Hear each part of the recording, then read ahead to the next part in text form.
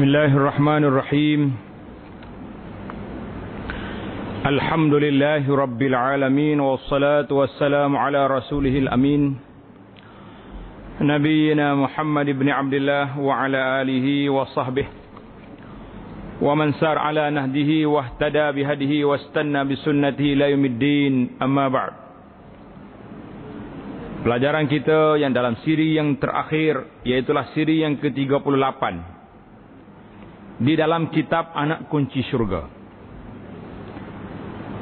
Alhamdulillahillazi bini'mati tatimus salihat Ini merupakan siri terakhir Dalam siri pengajian kita dalam kitab ini Alhamdulillah. Iaitulah Sifat-sifat yang terpuji. As-sifat al-mahmudah. Sifat-sifat yang terpuji yang mesti kita hiaskan diri kita sebanyak sepuluh perkara. Berapa perkara? Sepuluh perkara ini kita mesti hiaskan diri kita untuk mencapai keredaan Allah Azza wa Jalla. Setelah kita mengetahui sepuluh perkara sifat-sifat yang keji, sifat yang buruk, sifat mazmumah yang wajib kita jauhi dan kita hindari. Sifat yang terpuji Yang pertama Dan setengah daripada segala kelakuan hati yang dipuji Iaitulah taubat. Taubat Daripada segala dosa. Kerana firman Allah Ta'ala Inna Allah yuhibbut tawabin wa yuhibbul mutatahhirin. Bahawa Allah Ta'ala kasih ia akan sekalian orang yang bertobat dan orang yang bersuci. Surah Al-Baqarah ayat 222. Dan kerana sabda Nabi sallallahu alaihi wasallam Atta ibu minaz zambi kaman la zambalah Orang yang bertaubat daripada segala dosa seperti mereka yang tidak berdosa. Ini dia panggil bila kita berdosa. Kita bertaubat maka malaikat akan hapuskan tulis. Tulis surah amalan tadi ditutup balik. Hadis ini diceritakan diriwayatkan oleh Imam Ibn Majah daripada Abdullah bin Mas'ud radhiyallahu anhu dengan sanad yang hasan. Itu sifat yang pertama yang mesti kita hias diri kita Iaitulah bertaubat Bertaubat daripada dosa ini wajib Bukan satu perkara sunat. Siapa dia bertaubat Siapa dia berdosa Dia kena taubat segera. Jangan duduk tangguh lagi InsyaAllah lah nanti bulan Ramadan kita taubat. La. Bersalah hari ini Hari ini juga taubat. Bersalah pada tengah hari Tengah hari Jangan tunggu malam. Bersalah malam jangan tunggu pagi. Manusia ni boleh bersalah. Sebab nama dia manusia terlupa. Tapi orang yang bersalah wa khairul khata'in at-tawabun. Sebaik-baik orang yang bersalah itu iaitulah orang yang bertaubat. Dia salah, dia taubat. Ha, ini tak tahannya dia bersalah tak mengaku salah, itu tak tahan. Awak salah buat ni, mana boleh? Ha, mana boleh selalu? Maka orang yang rasa dia betul, walaupun diberitahu, dimaklumkan kesalahannya, maka orang ini susah untuk bertaubat. Macam orang sakit, dia tak tahu dia sakit. Awak sakit ni mata kuning dah ni. Hai, mana sakit? Tiga pinggir lalu makan. Makan lalu tapi otak dia betul tak betul.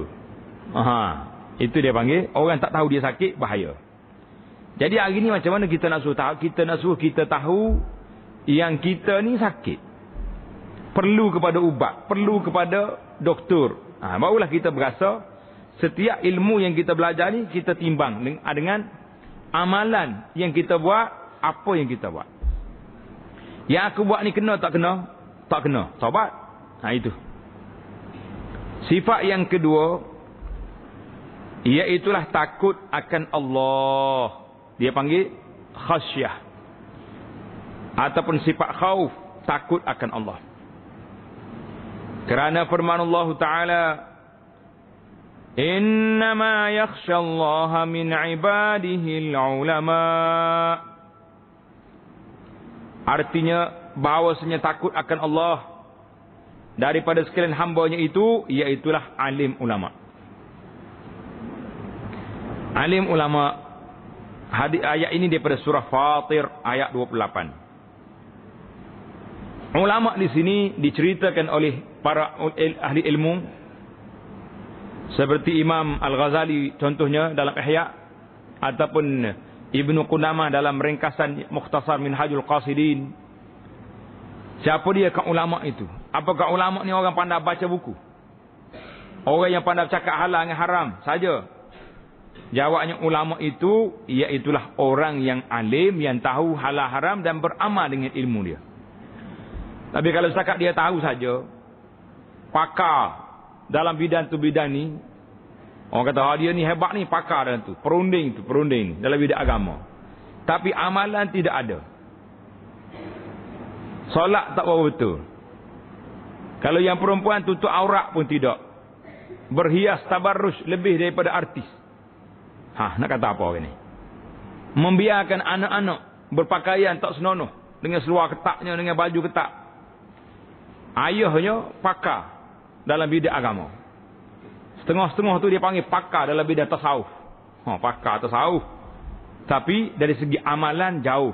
Ya, ini ini persoalan kita hari ini mencari siapa ulama. Adakah orang ada CJ sekeping dua tu jadi ulama dah? Belum lagi. Ulama dunia boleh. Ulama akhirat satu benda yang besar. Ini yang kita nak cari. Biarlah kita ni Allah Taala jadikan kita di ulama akhirat, ulama yang takut akan Allah Azza wa Jalla. Dan bahawa yang lebih mengenali akan Allah ialah yang lebih takut akan dia. Lagi orang ni kenal Allah, orang ni takut akan Allah banyak. Orang yang lebih kenal kepada Allah, orang ni lebih takut. Karena itulah sabda Nabi sallallahu alaihi wasallam, "Ana akhwafukum lillahi ta'ala." Wallahi inni la akhsyakum lillah wa atqakum lah. Ingat ke tidak cerita? Ha? Cerita tiga orang mari berjalan rumah Nabi nak tanya apa dia amalan Nabi sallallahu alaihi wasallam di rumah. Maka bila dia dengar Nabi di rumah ada ibadat juga, ada ini juga. Dia pun pakat tiga orang ni, seorang ni nak nak puasa tak nak buka, yang seorang ni nak berdiri malam tak tidur, yang seorang ni tak nak kahwin, nak ibadat. Jadi Nabi bila dengar Nabi marah, Nabi kata aku ni anak atqakum lillah. Aku la akhsyakum lillah wa atqakum. Aku orang paling takut pada Allah, orang paling takwa, tapi aku berkahwin, aku makan, aku puasa, aku tidur, aku ha, jadi dia nak beritahunya Nabi mengatakan dia orang paling takut pada Allah. Jadi orang yang paling takut Nabi, kemudian orang yang paling takut lagi iaitu orang yang mengenali Allah Azza wa Jalla dengan sebenar-benarnya. Kita kena ingat takut orang Taala ni bukan macam takut ke hantu. Takut ke hantu Mu takut mana hantu? Kita katalah andaiannya. Dekat tunggu kayu ni ada hantu. Tak pernah tengok pun. Nah, orang kata ada hantu. Mu pun takut lah. Nak pergi tandah pun takut. Nak pergi mana pun takut sebab hantu. Tapi kalau dia pergi tempat lain, dia kata tak ada hantu. Takut tak takut? Tak takut dah. Boleh lompat sana sini. Ha, jadi kita jangan buat takut khauf takut pada Allah Ta'ala ni macam takut ke hantu. Bertempat. Takut sini. Ini tak ada.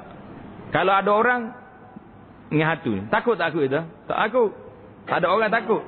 Ha, kita dengan Allah Azza wa Jalla kena takut sentiasa. Ada orang ke, tak ada orang ke, dalam cerah ke, dalam gelap ke, tengah hari ke, tengah malam ke, sama. Allah Ta'ala sifat dengan basar Innahu huwas sami'ul basir. Tuhan tengok. Tak kira masa mana pun. Ha, ini dipanggil takut pada Allah Ta'ala. Biar nampak. Hadis ni. Dia kata apa ni. Inna akhwa apa ma'akhawa alaikum ni. Dia cerita oleh At-Tirmizi dan Al-Hakim. Dalam kitab Takhri Ihya. Dia kata Takhri anak akhwafukum lillah. Kita jumpa cari hak ni. Cuma dia bawa hadis lain. Hadis Bukhari tadi, "Inni la akhsyakum lillah wa atqakum lah." Ah, itu hadis dalam Syekh ini. Hadis diwayat oleh Imam Bukhari daripada Aisyah radhiyallahu anha.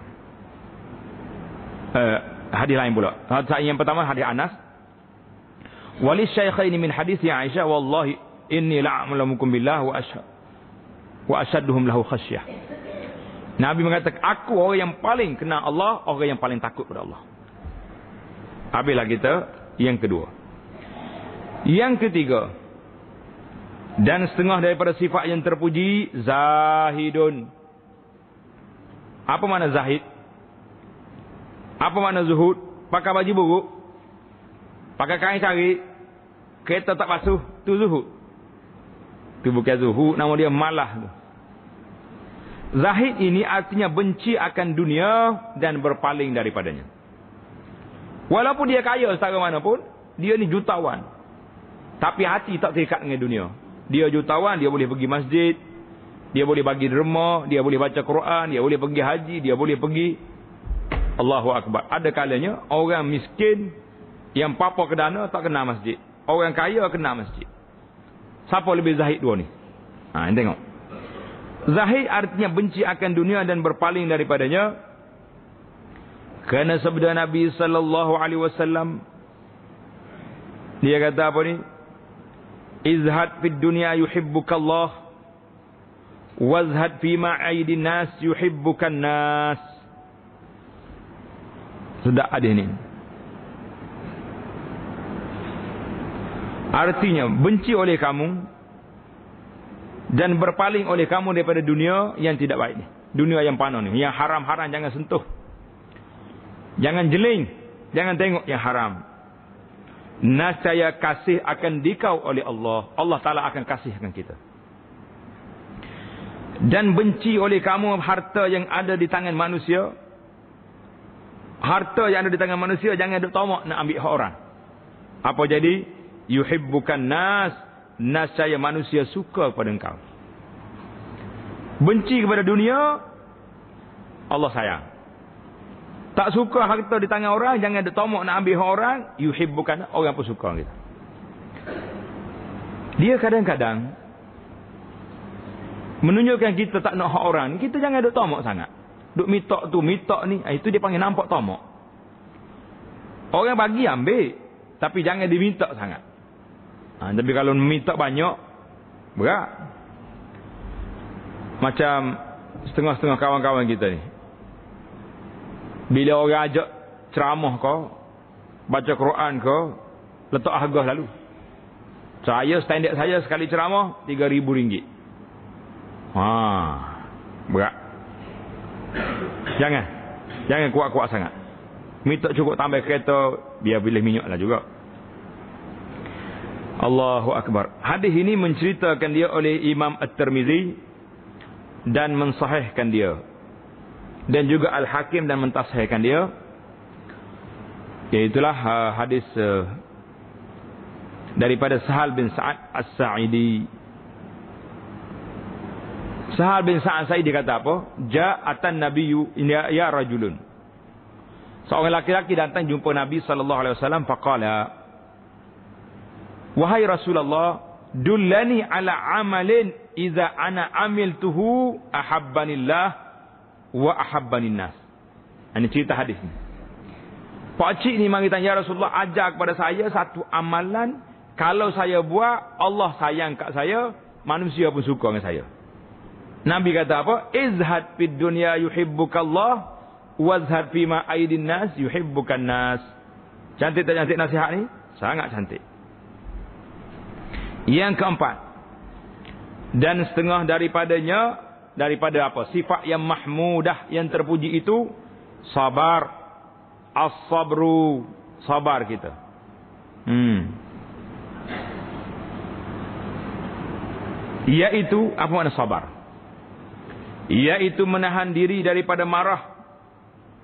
Atas sesuatu yang tiada disukainya. Benda kita tak suka. Jangan duduk marah. Sabar diam-diam. Dan menahan lidah daripada mengadu kepada orang lain daripada Allah. Ni hari-hari. Duk repot orang itu, repot orang ni, duk diam. Ya. Itu dia panggil sabar. Tapi kalau orang hidup tulis sana sini, tu orang bukan panggil sabar, tu orang panggil habis sabar. Macam ada setengah orang ni, kalau nak marah dengan orang, dia sumpah orang itu. Celaka dia ni bahasa habis. Tujuh lapis langit dia sumpah. Habis dia sumpah belaka, ai dia kata tu saya sabar tu. Saya sabar. Patut kalau tak sabar lagu mana? Berat lagi. Nak sumpah apa lagi habis dah dia bagi. Dia meletup habis dah. Tak ada sumpah dah pada tu. Hmm, nak kata apa? Allah, dia lepas dia maki orang habis, ah tu saya saya sabar tu. Oh, mengarut sabar macam ni kan. Hmm. Jadi sabar ni dia kata apa? Menahan diri daripada marah atas sesuatu yang kita tak suka, kita duduk diam. Dan kalaulah kita ni bukan nak marah tapi sakit kena apa-apa bala menahan lidah daripada mengadu kepada lain daripada Allah sakit ya Allah isfi wa anta syafi la sifa illa sifauka. Kalau mengadu dengan orang pun nak buat apa? Kecuali orang tu doktor. Ha, bolehlah kita mengadu dengan dia sebab nak ambil ubat. Ha, kalau sekat nak mengadu dengan orang tak ada pasal. Kerana firman Allah Taala wasbiru innallaha ma'as sabirin. Artinya sabar oleh kamu kerana bahawa Allah taala bersama dengan orang-orang yang sabar. Allah bersama dengan orang sabar artinya Allah menolong dan memelihara ia akan orang-orang yang sabar. Orang sabar Tuhan tolong Tuhan pelihara. Dan firman Allah lagi, "Innama yuwaffas sabiruna ajrahum bighairi hisab." Artinya hanya saja disempurnakan akan sekalian orang yang sabar itu. Orang yang sabar tadi boleh apa? Allah sempurnakan pahala mereka itu dengan ketiadaan kira-kira. Bighairi hisab. Tuhan tak kira. Banyak mana nak bagi. Lagi sabar banyak. Lagi besar pahala. Lagi kuat sabar, lagi tinggi hisap dia. Akaun dia terbuka. Surah nombor 39, ayat yang ke-10. Hadis wasbiru tadi, ayat yang wasbiru innallaha ma'asabirin, surah nombor 8, ayat 46. Ha, sekarang ni senang, semua mai pakai nombor lah kau. Dan sabda Nabi sallallahu alaihi wasallam Nabi kata apa? Fi sabri ala ma takrahu khairun wa'lam anna fis sabri ala ma takrahuhu khairan katsira ketahui olehmu bahawasanya kamu sabar di atas perkara yang kamu tak suka itu membawa kebaikan yang banyak. Sabar banyak. Hadis ini diriwayat oleh Imam At-Tirmizi Imam Ahmad daripada Abdullah bin Abbas radhiyallahu anhuma. Kata di muhakkik dia sanad hadis sahih. Hadis sahih. Tanda di situ sabar itu ada beberapa tingkat beberapa perkara yang pertama sabar di atas melakukan ibadat sabar untuk apa untuk nak buat ibadat kita nak buat ibadat ni senang ke payah ha Payah. Kena lawan nafsu. Sabar. Kadang-kadang nak semaya subuh. Dalam keadaan hujan lebak. Nak pergi masjid. Allahu Akbar susah. Ha, jadi sabar di atas melakukan ibadat. Mari bulan Ramadan pula. Banyak tak banyak sabar bulan Ramadan? Banyak sekali. Sabar apa tu? Sabar di atas kelaparan. Sabar. Nak pergi haji sabar tak sabar? Sabar, jalan jauh duit habis banyak. Ha, ni. Itu dia panggil pertama sabar di atas melakukan ibadah. Yang kedua sabar daripada melakukan maksiat. Nafsu ni bergelora nak buat maksiat. Saya sabar. Tak mau, tak mau. Aku tak mau rosakkan iman aku. Tak mau rosakkan pribadi aku. Sabar. Yang ketiga, sabar di atas bala yang Allah uji pada kita. Ha, ini sabar di atas bala yang Allah bui pada kita. Ha, bila Tuhan bagi bala, sabar. Jangan duduk Jangan duduk mengeluh, jangan duduk mengadu. Ha, kalau duduk mengadu banyak, kuranglah sabar dia. Yang kelima. Sifat yang kelima, iaitulah syukur. Apa dia syukur? Iaitu memalingkan hamba akan nikmat Allah Ta'ala kepada yang dijadikan akan dia kerananya. Payuh hayat ni. Syukur artinya menggunakan. Nikmat yang Allah beri itu untuk kegunaan yang betul. Itu makna syukur. Seperti menggunakan nikmat telinga untuk mendengar Al-Quran.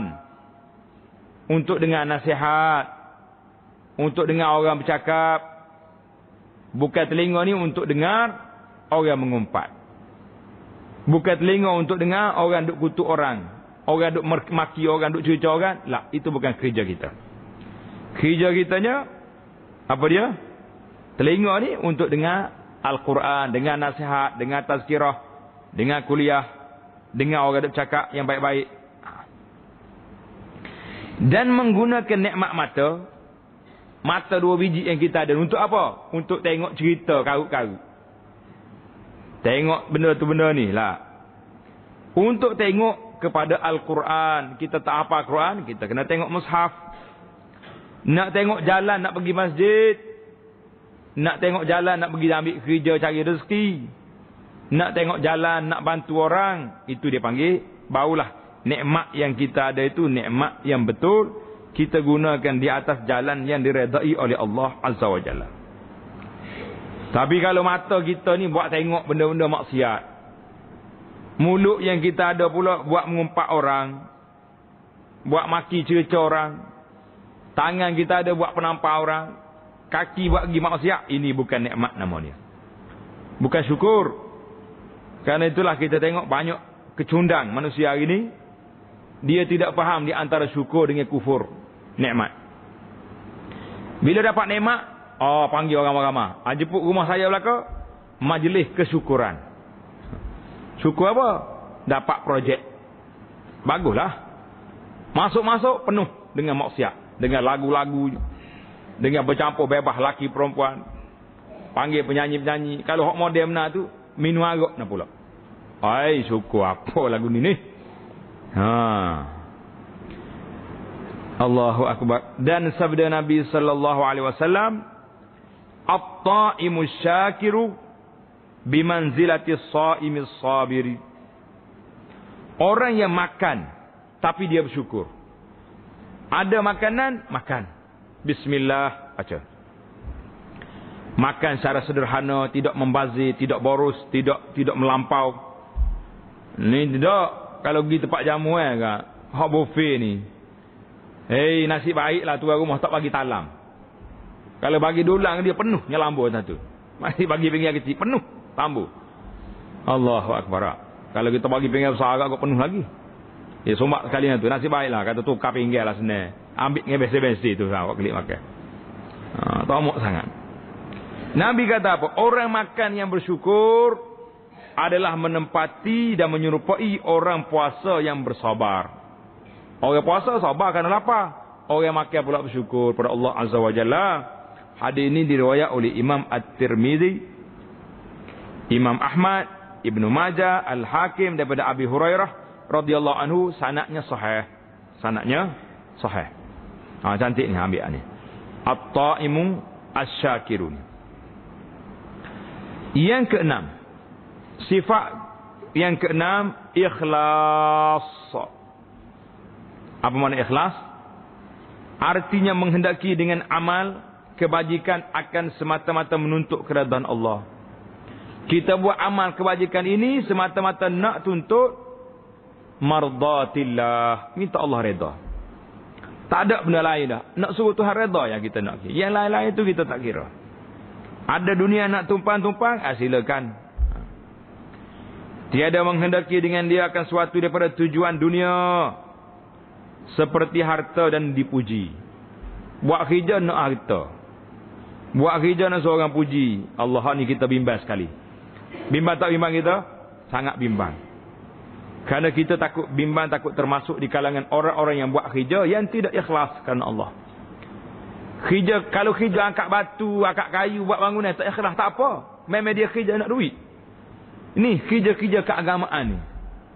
Ceramah ke, ajar baca Quran ke, jadi imam ke, jadi khatib ke, uh, baca Quran ke. Ah ini semua ni. Kalau buat kerja tak ikhlas kerana nak benda-benda, dapatlah benda tu. Kerana firman Allah Taala وما أمروا إلا ليعبدوا الله مخلصين له الدين dan artinya dan tiada disuruh akan mereka itu melainkan dengan menyembah Allah dalam keadaan mengikhlaskan baginya agamanya. Ikhlas agama kerana Allah Azza wa Jalla. Surah Al-Bayyinah ayat 5. Dan kerana hadis yang diriwayat oleh Imam Bukhari dan Muslim. Daripada Sayyidina Umar ibn al-Khattab radhiyallahu anhu. Apa dia kata? Innamal a'malu binniyat. Wa innama likulli imri'in ma nawa. Faman kanat hijratuhu ila Allah wa rasulih. Fa hijratuhu ila Allah wa rasulih. Wa man kanat hijratuhu li dunya yusibuha aw imra'atin yankihuha fahijratuhu ila ma hajara ilaih. Ha, tengok hadis ni niat ni Nabi hurai sekali. Artinya segala amal itu dengan niatnya. Segala amal yang kita mesti dengan niat. Dan bagi tiap-tiap seorang itu apa yang dia niat. Mu niat buat ni kerana Allah dapat pahala banyak. Kamu niat buat kerana nak tunjuk-tunjukkan orang, ah, dapat menunjuk pada orang. Niat nak dapat duit, dapatlah duit. Ha. Dan siapa hijrahnya kepada Allah dan Rasulnya, maka hijrahnya diterima dan beri pahala. Dan siapa hijrahnya kerana dunia, nak cari dunia, atau kepada perempuan untuk kahwin dengan dia, maka hijrahnya kepada apa yang dia buat tutup kurunnya setakat itu Syekh ni kata sangat keji perbuatan tersebut. Kita buat benda agama kerana dunia. Mengambil agama kerana dunia nak pangkat, nak kedudukan.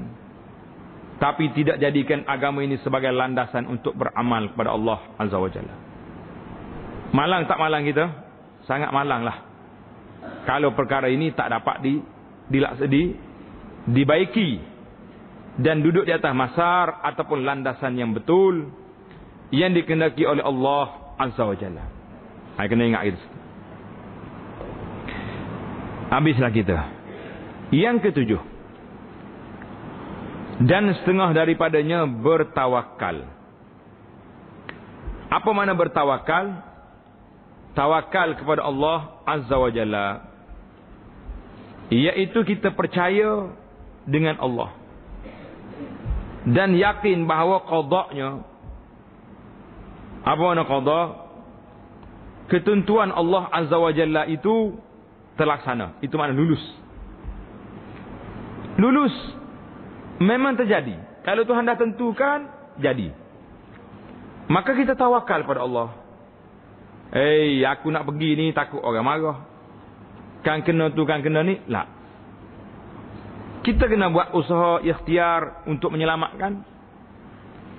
Sebagai dalam hadis dia kata akil eh, yang akan ada di bawah ni akil hawa tawakal. Jadi kita yakin bahawa qada ketentuan Allah Taala itu lulus pasti terjadi. Dan mengikut sunnah Nabi sallallahu alaihi wasallam dan berusaha pada barang yang tak dapat tiada daripadanya. Usaha mesti kena buat daripada makanan dan minuman. Jangan duduk cokor tidur dekat masjid.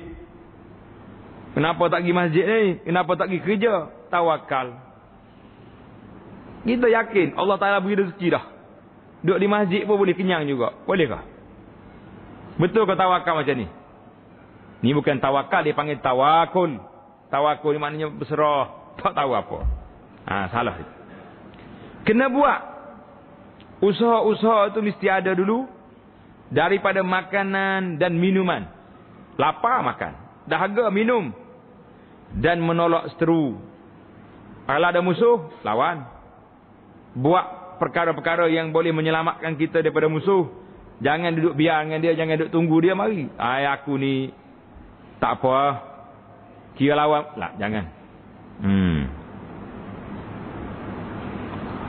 Sebagaimana yang telah dilakukan oleh Rasulullah sallallahu alaihi wasallam. Rasulullah buat apa? Kerana firman Allah Taala, "Wa 'ala Allahi fatawakkalu in kuntum mu'minin." Surah 5 ayat 23 Artinya maka kata Allah Ta'ala jua kamu berserah Jika ada kamu orang-orang yang beriman Kalau kamu ni orang beriman Berserah diri kepada Allah Orang yang tidak ada tawakal Orang ini tidak sempurna iman Dan kerana sabda Nabi sallallahu alaihi wasallam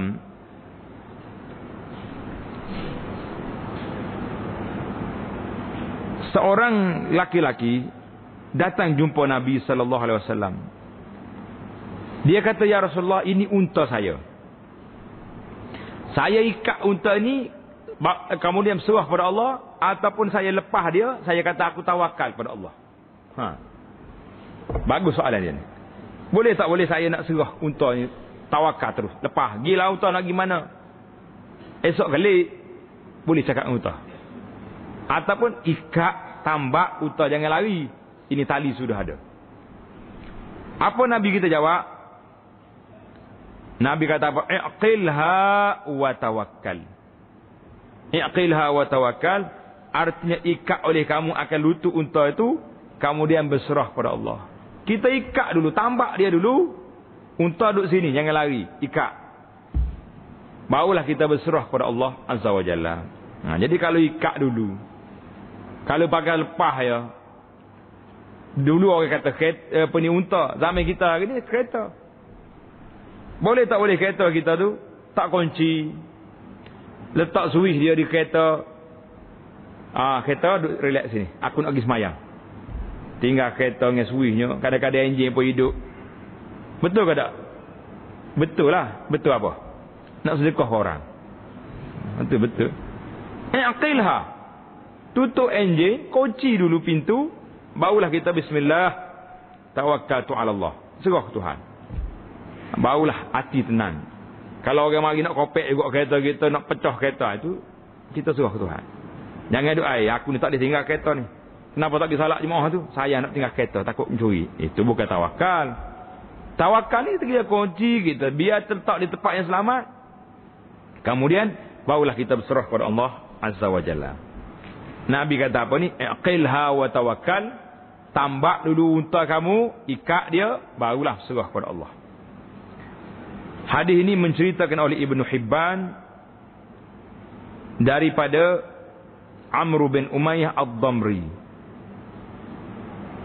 Ini hadis Ibnu Hibban. Satu lagi hadis ini juga dicerita oleh Imam At-Tirmizi daripada Anas bin Malik yang aqilah wa tawakkal dengan hanak sanak yang hasan. Hmm. Baik, habis kita tentang tawakal. Sifat yang ke-8. Sifat yang ke-8 dan setengah daripadanya hub kasih akan Allah. Hub maknanya kasih. Cinta akan Allah Azza wa Jalla. Ah, cinta kepada Allah Taala ni satu cinta yang besar yang kita kena buat kerana firman Allah taala wallazina amanu ashaddu hubban lillah artinya mereka yang beriman lebih sangat kasih akan Allah taala ashaddu hubban lillah orang yang beriman tu sangat kasih sangat cinta sangat sayang kepada Allah. Asyaddu hubbalillah. Ayat ini daripada surah nombor 2 iaitu surah Al-Baqarah ayat 165. Dan kerana sabda Nabi sallallahu alaihi wasallam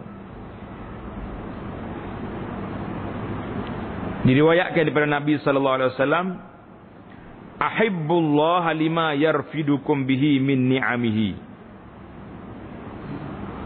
Artinya kasih oleh kamu akan Allah kerana barang yang memberi ia kepada kamu dan segala-segala nikmatnya. Kita kasih kepada Allah kerana nikmat yang Tuhan beri pada kita. Wa ahibbuni bihubbillah. Sayang pada aku kerana Tuhan sayang pada aku. Wa ahibbu ahla baiti bihubbi. Kamu sayang pada keluarga aku kerana aku sayang pada mereka. Hadis ini diriwayat oleh Imam At-Tirmizi daripada Ibn Abbas dan juga Al-Hakim sanaknya dhaif, sanaknya lemah, dhaif. Allahu Akbar. Ini tentang kasih kepada Allah. Banyak lagi lah. Hadis-hadis yang menunjukkan kasih kepada Allah Ta'ala ini dalam kitab kita ni ringkas dia hanya buat orang panggil indeks ataupun senarai saja. Yang panjangnya di mana? Dalam kitab kita penawar bagi hati. Alhamdulillah kitab penawar kita telah baca di sini itu menunjukkan bahawa syekh kita ni ada kesinambungan. Mu nak baca panjang, ah, kita aku salat lagi. Nak yang ringkas, ha ni. Jadi kalau kita boleh ambil ringkah ni, kita boleh masuk dalam kepala kita, boleh ikat betul-betul 10 perkara uh, sifat-sifat yang mahmudah ini, cantik dah akhlak kita tak? Kadang-kadang ringkah tu baik, mudah ingat. Ada kalanya ringkah tu tak faham pula. Ha, jadi nak macam nak, nak japa, tengok keadaan. Baik. Habislah kita yang ke-8, kita pergi kepada sifat yang ke-9 dan setengah daripadanya iaitu redha dengan qada Allah azza wajalla ha. Sifat yang terpuji redha dengan ketentuan Allah. Apa makna redha dengan qada Allah iaitu suka hati akan segala yang Allah kehendaki dengan dia. Suka kita. Kita semangat sungguh nak kahwin nak anak. Yang pertama nak anak laki-laki. Kuah tu bi anak perempuan. Jangan hidup berubah muka. Eh, aku nak jatuh. Lah. Alhamdulillah. Ada zuriat juga aku. Suka. Nak anak perempuan. Keluar anak laki-laki. Sama juga. Jadi itulah di antara kita ketentuan Allah. Kita qada. Qada Allah Ta'ala kita suka redha dengan dia. Setelah kita buat-buat ya usaha ikhtiar nak benda yang baik, jadi benda lain sebaliknya, kok reda. Kita kalau boleh gak nak lah benda-benda baik ni. Nak jadi orang kaya, nak nak ha, nak sehat wal afiat, tapi jadi juga yang sebaliknya. Tak kaya juga. Sehat juga makan suplemen, makan segala jenis ubat atas dunia ni. Segala tongkat makan belaka. Sakit juga. Kita qada, kita reda dengan ketentuan Allah. Anak kita, kita didik baik-baik belajar agamanya, belajar Al-Quran, belajar akhlak, tiba-tiba jadi nakal wal iazubillah qada. Ha, tapi kalau kita tak tak tak apa, tak ambil berat dengan dia, mu nak jadi apa ikut mung lah.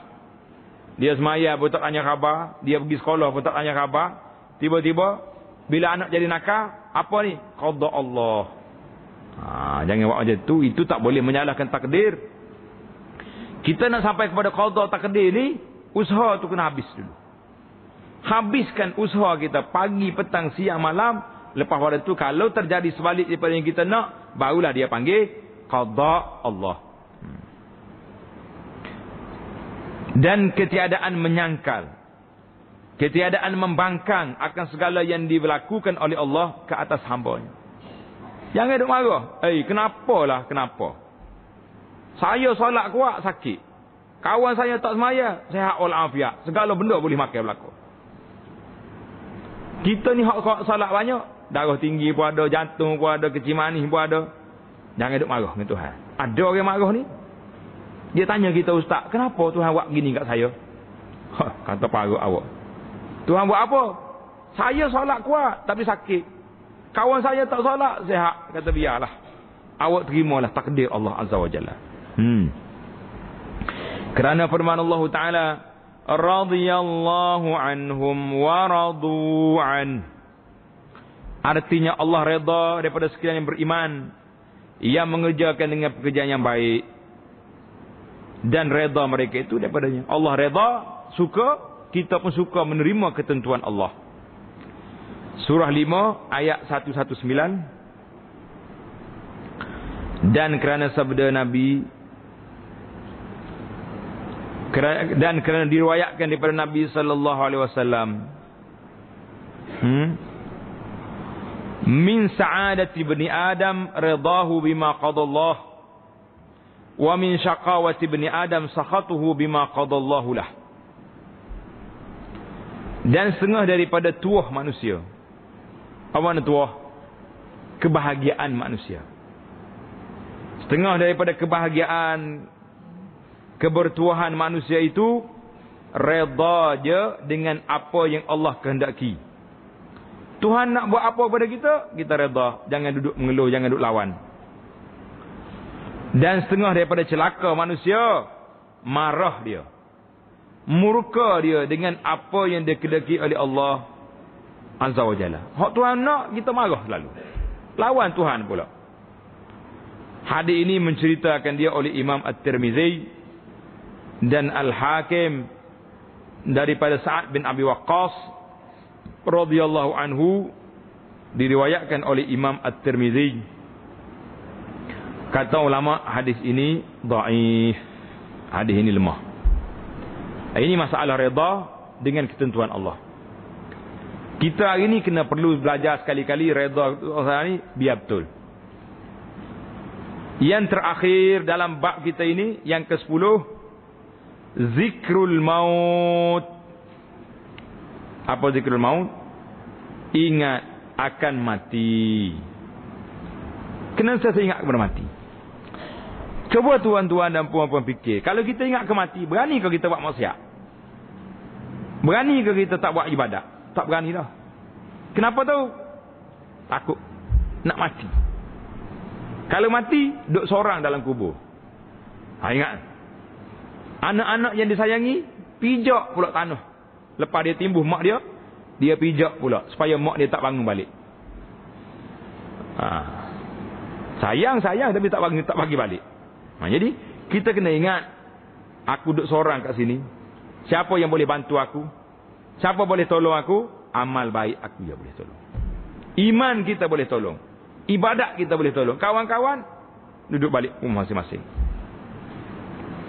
Kerana sabda Nabi sallallahu alaihi wasallam hmm? Aksiru zikra hazimil lazzat. Aksiru zikra hazimil lazzat. Fa innahu la yakunu fi kaseerin illa qallalahu wala fi qalilin illa ajzalahu.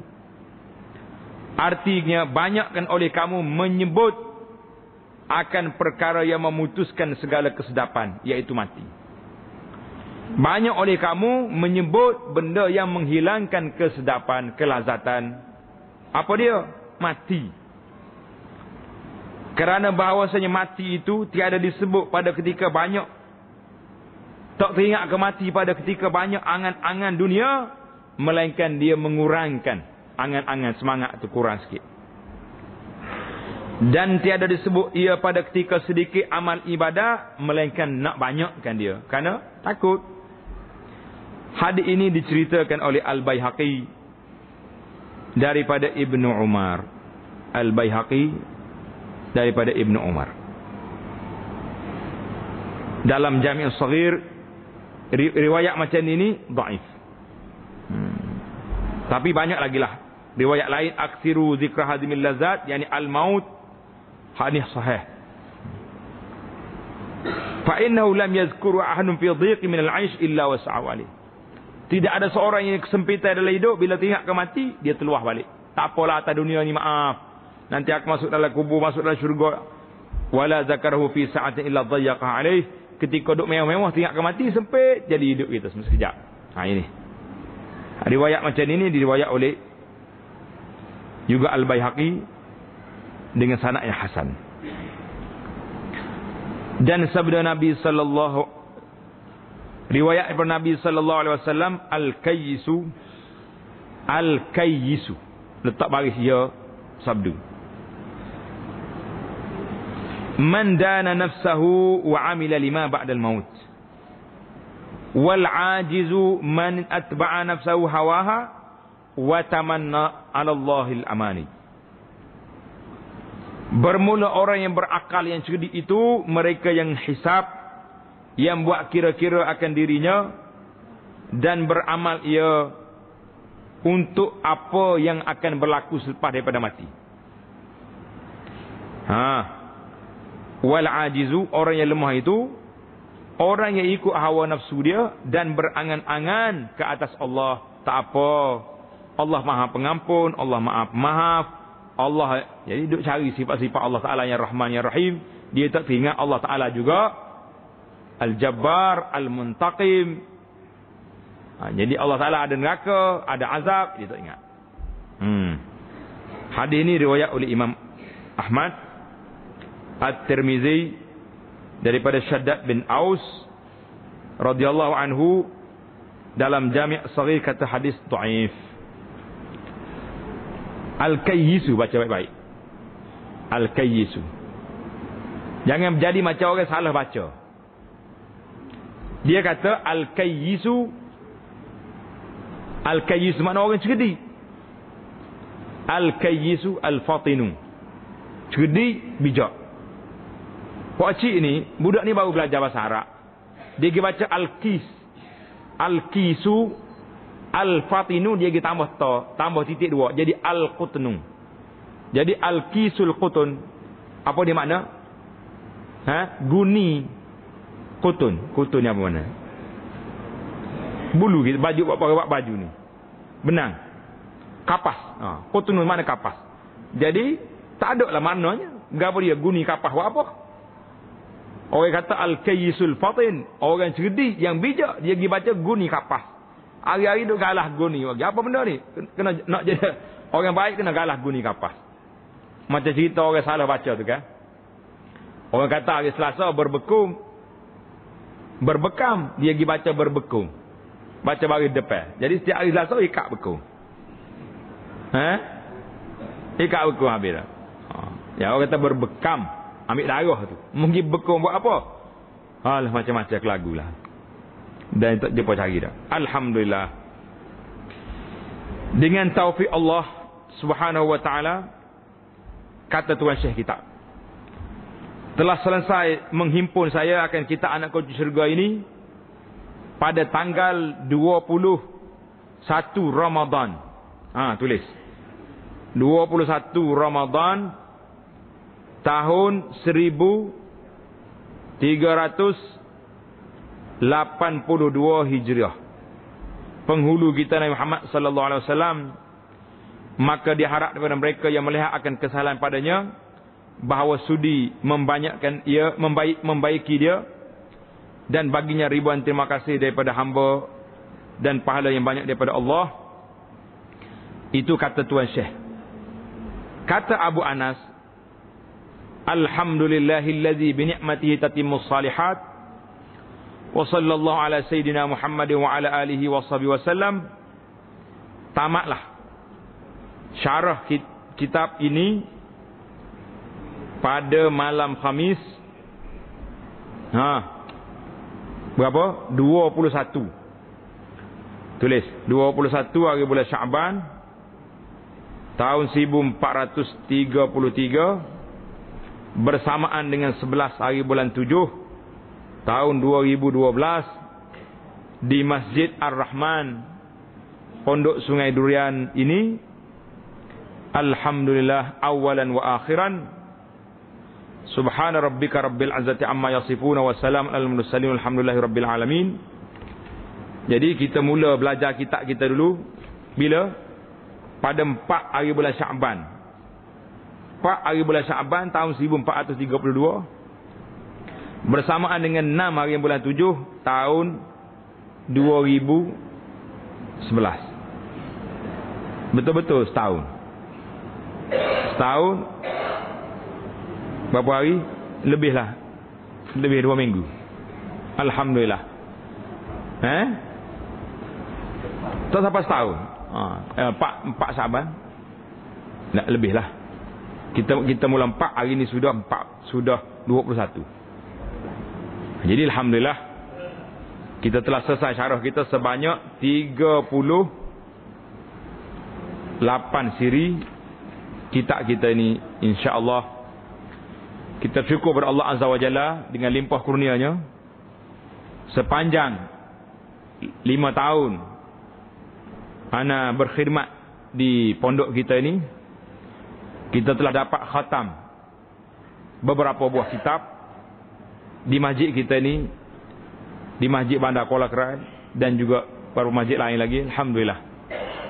Semua raka, semua pengajian-pengajian ini ada terdapat dalam rakaman yang boleh kita jadikan rujukan dan panduan bagi orang-orang yang ingin meneruskan pengajian yang tak sempat di sini dan lain-lain tempat. Dan juga orang yang duduk jauh-jauh. Itulah di antara nikmatnya. Allah Taala beri pada kita ni alat-alat komunikasi zaman moden hari ini boleh membantu kita jadi insya-Allah kita akan sambung lagi kitab kita. Kitab yang lain pula. Subhanakallahumma bihamdika. Asyhadu an la ilaha illa anta. Astaghfiruka wa atubu ilaik. Wa sallallahu ala nabiyyina muhammadin wa ala alihi wa sahbihi ajma'in. Walhamdulillahi rabbil alamin